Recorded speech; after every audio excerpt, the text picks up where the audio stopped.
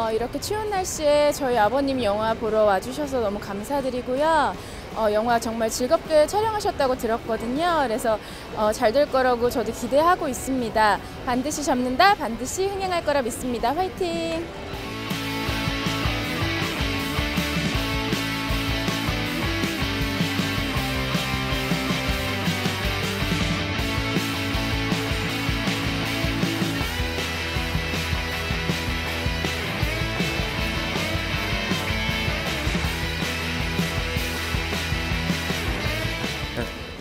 반드시 잡는다. 대박 나세요. 파이팅!